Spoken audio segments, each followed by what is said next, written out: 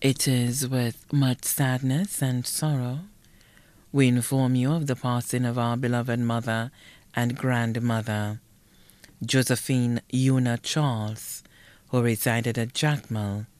She passed away in the Victoria Hospital on Monday, 12 September 2022. She was 88 years old.